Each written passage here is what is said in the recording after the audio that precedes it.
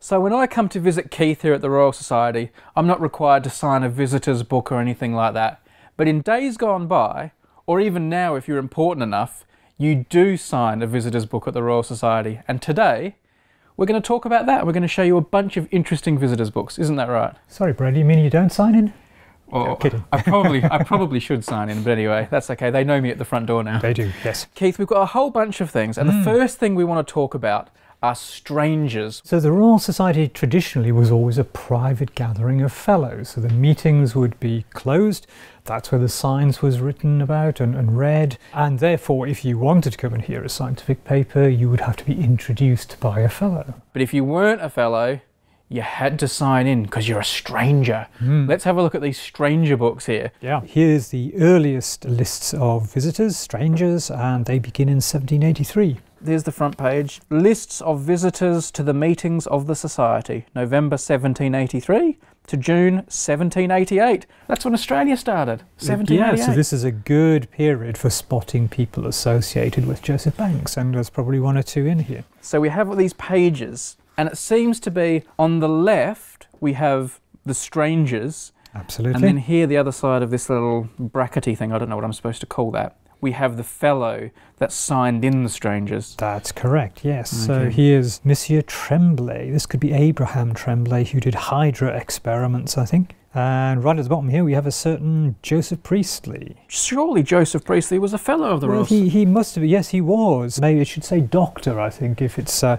the Joseph Priestley. Some people are just casual visitors, some people are, are overseas visitors, and going to the Royal Society would be something that you would do if you were passing through London. So we're into the 19th century now. Let's get someone better. Ah, here we go, Mr. John Ruskin. So Acland, the fellow, and Simon, his friend, have introduced Mr. John Ruskin, who is, of course, the, the famous artist and art critic associated with the Pre Raphaelites, but a really big figure in Victorian England. So he's come to see a paper in 1862. So we've got John Ruskin, who Keith is very excited about. I I didn't know quite so much about him, but I know but I know he's a big deal. Figures like Ruskin would come if the paper was particularly interesting to them. And there's a little bit of a clue about what this one was when you see just here quite a lot of audiences being signed in by Mr. De La Rue. Oh yeah, so whoever De La Rue is here has got a whole bunch of people. He's obviously said, "Oh, I've got something awesome. You've all got to come along." So they've all come along to see what De La Rue's doing.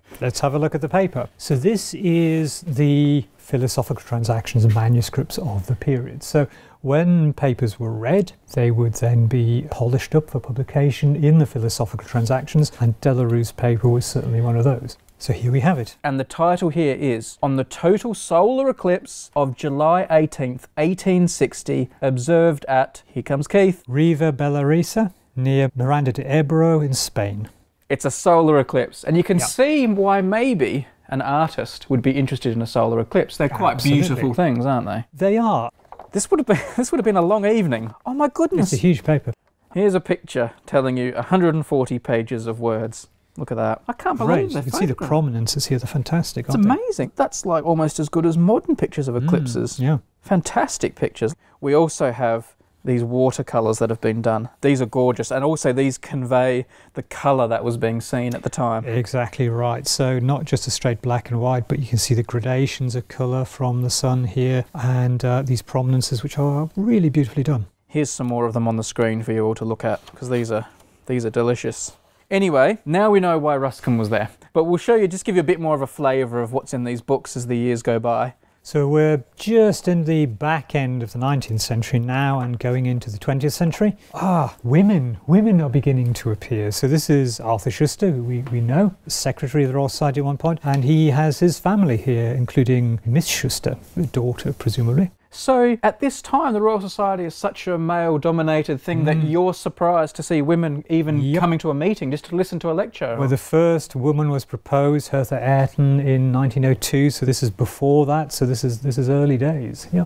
I like this here because we can see someone here's put their little business card in there instead. So it's a bit like I was here, and you know, if you want your windows done, give me a call. There still are visitors' books today. Here is one such book. You can see there on the spine Visitors to the Royal Society. Sharpen my pencil, Keith. Maybe I should sign this one. yeah. Well, we've hidden the pens, Brady. Okay, there we go. 1991, this book starts, and you kind of never know what you're going to find. It's very often visiting foreign delegations. So they'd be academicians from other societies. We have the Estonian Academy of Sciences here. So there's like just a dinner for research professors here in January 1992, and look, they've all signed Yeah, it. So, yeah, yeah. oh, I know Steve Howdle. He's a chemist at the University of Nottingham. There we go. So there you go. You never know who you're going to find. Here's Paul Nurse. Oh, Paul Nurse was there too, the former president of the Royal Society. The planning meeting of Population Conference, Stockholm 1993, had a bit of an ink incident, I'm afraid. Mm. Never mind. So some of these are just visitors by one person and they get a whole page to Mm, yeah. themselves. Yeah. Keith, No. I know my place. Anyway, you get the picture, but let's up the ante even further and go to the Uber VIP book. One Uber VIP book. You can definitely bet Keith's not going to let me sign this one. Who do you have to be to get into this book? Uh, well, it helps if you're uh, a royal, because we are, of course, a royal society. So you'll find uh, quite a few royal patrons and royal fellows in there. Let's have a look then. So this is the presentation of the King Charles II medal to His Majesty the Emperor of Japan. Also, look there, we've got a signature by my thumb there. We have a signature of the Emperor of Japan. Didn't leave him much room, did they? They didn't actually, no. Had to squeeze that one in. Queen Mother, 100th birthday. She has the exact same signature as her daughter, the Queen, Mm. doesn't she? And if you don't believe me, there's the Queen and And Prince, Philip. yeah.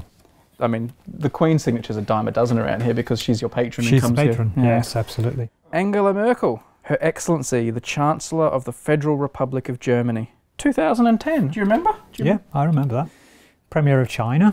That's Premier Wen Jiabao. Oh, there we go. Great signature. Absolutely fantastic. That's a cracking signature. You're not forging that bad boy. Now, these are these are amazing and fantastic, but we've got one more kind of visitors book we want to show you that's a little bit out of left field. And to see that, I'm going to go down here. Let's walk. Now, Keith, this says visitors book, but Mm. this is not a book, obviously. This is a piece of hardboard. and this, as you can see from these holes that are screwed here, this was once upon a time attached to a wall. And visitors to this place where this board was then signed it. And then in later years, it's found its way here to the Royal Society archives. What is Mm. this, Keith? Where's this come from? Well, this came from the Royal Society station at Halley Bay for International Geophysical Year in 57, 59. So this was in Antarctica, in the hut, and visitors, and they would have been few and far between presumably, would have signed this as they passed by. So this was kind of like a Royal Society funded team of scientists. Yeah, absolutely, yeah. Mhm. down in Antarctica. Yep. I don't know who Pinguino Kismoso was here is, but we obviously refers to this penguin. As you would expect, there are lots of visiting US Navy ships because, of course, very few people can, can jolly up to Antarctica in a yacht or anything like that. So it's mostly naval people Yep. a lot of scientists uh, and, and people who are involved in expeditions, but also some, some left field people, as you say. So here we have someone from Walt Disney. So that says Bill Fortin, Walt Disney, and a little bit of research that we've done since. It turns out that he was a cinematographer of a Mhm. short documentary about people working in this part of the world that actually won the Academy Award Yeah. back in the day. So, no pressure, James. We also have Vivian Fuchs, British explorer, who in 1957-58 crossed Antarctica by land with tractors, I believe, like Yeah, sort of. so it was a big uh, expedition, but a trans-Antarctic thing is a big deal. And here he is uh, preparing for the expedition. So we have visits in 56 where it's been signed, but we also have January 57, which I think might have been around the time they were kicking off the actual trip. So there's a little bit of history in the making there on this board. Yeah. From old visitors' books of strangers through to VIPs, through to royalty, and then all the way to Antarctica. We have you covered for visitors' books at Mhm. the Royal Society. Yep. And I've signed none of them. You're not a stranger. That's quite nice. Yeah. The first women were elected as fellows in 1945. Uh, so that's Only another 20 years. yeah.